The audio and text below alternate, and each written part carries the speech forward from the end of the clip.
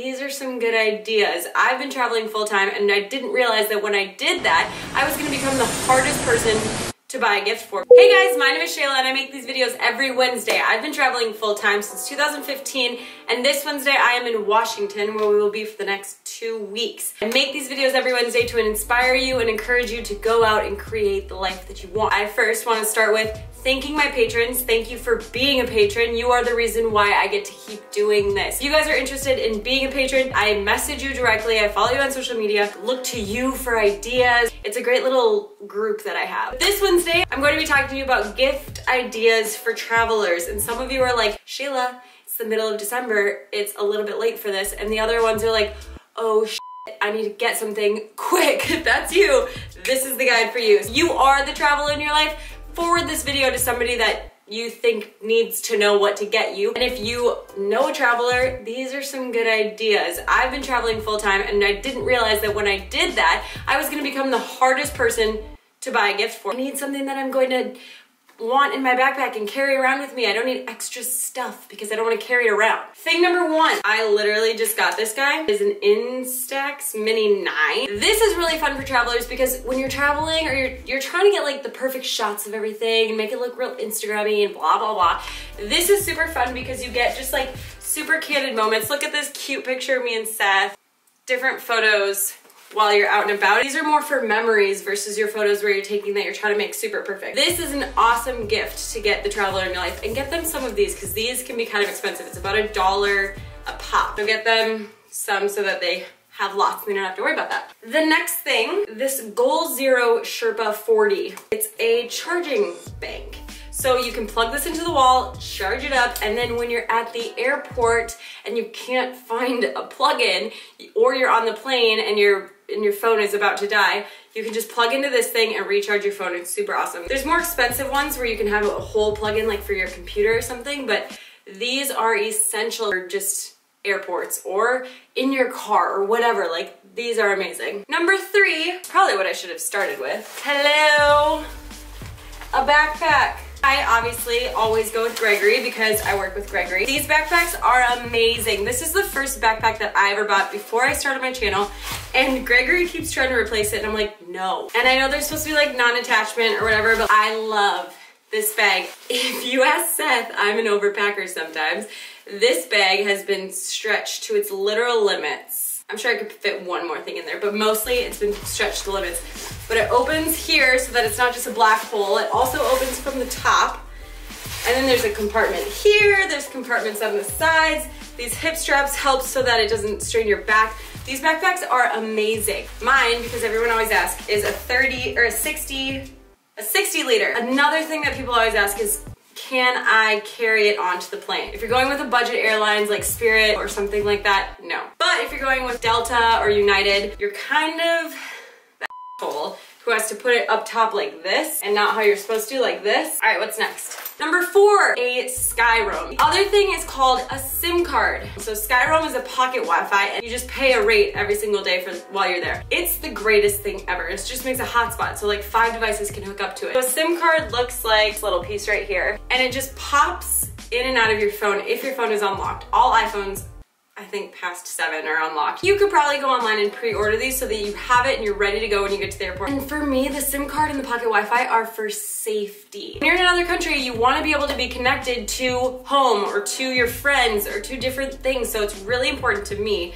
to have a SIM card or SkyRoam because you just get to stay connected and you're not just wandering out with no way to contact anyone. Thing number five, a Sonicare toothbrush.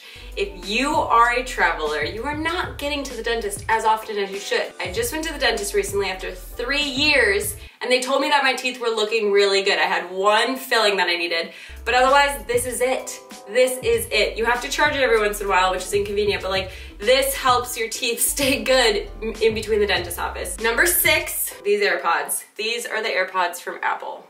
I'm not gonna lie to you, these are pretty expensive. Uh, they're like anywhere from 150 to 180, I think. They're not cheap. A lot of people are like, well, they're not noise canceling. You're traveling, this in your bag is like the greatest thing ever. I can throw it in my purse. Always goes in the exact same spot. Once you hook it up to your iPhone, put these things in and it'll just go it just connected to something. It almost automatically connects unless your Bluetooth is off. The other thing that I love is this is a charging case. If they're going dead, you plug them back in here and it charges it. When you're listening to music and maybe someone just comes to talk to you, pull out your earbud, it pauses your song or your audiobook or whatever you're listening to, and then you just plug it back in. And you can double tap and talk to Siri, it's great.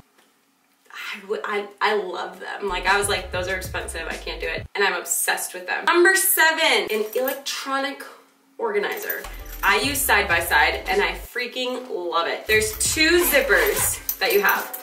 This big giant zipper, and that's where I put my hard drives, but you could put like your computer charger, but there's a big one there.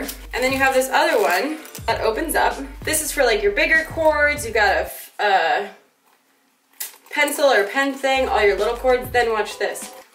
You have a little zipper for your SD, another thing for like thumb drives or whatever. And then a whole another one of these, which you could use for your, if you have the extender on your computer, or your, yeah, your computer charger. Side by side is amazing. It's just goes in my backpack, keeps me super freaking organized. If you wanna get them something cute and meaningful, minimalist jewelry is the way to go. That's what I, I always wear like kind of these layered necklaces. Bryan Anthony's is one of my favorite places to buy jewelry from because it's like relatively inexpensive, but it's so meaningful. So it's a nice way to like send a gift, but also send a meaning. So some of them are like, you've always been by my side, or like, you're, you are strong. I Love them. Number nine, a Yeti. Where's mine? Seth asked me one time, how do you eliminate or minimize your carbon footprint? And I'm like, I can't. I don't have a home. I can't recycle. I can't compost. I can't do anything.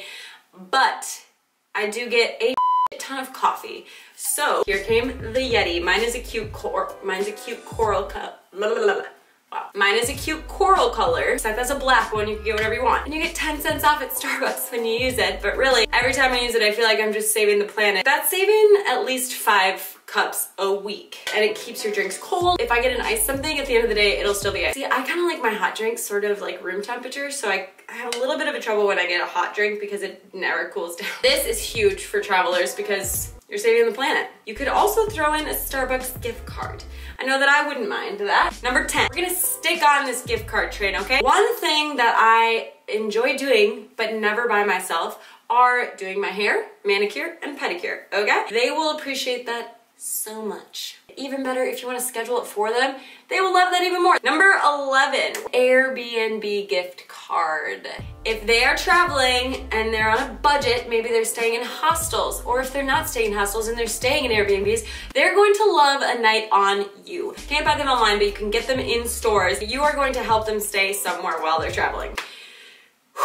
I hope that that's helpful because as a traveler, I know that I'm not the easiest person to give a gift for, but those are the things that I have and that I love and that I would recommend to anybody who's traveling and especially anybody who's trying to gift something to the person who's traveling. If this is helpful, please comment below and let me know. If you would add anything, also write that below. All of these things will be in the description below. And if you are a patron or on the email list, you already got this. If you would like to do that, the link for both of those are below. Thank you guys so much for watching. I will see you all next Wednesday where I will talk to you about how you can travel the world for free, or at least for $30 for the membership for Worldpacker.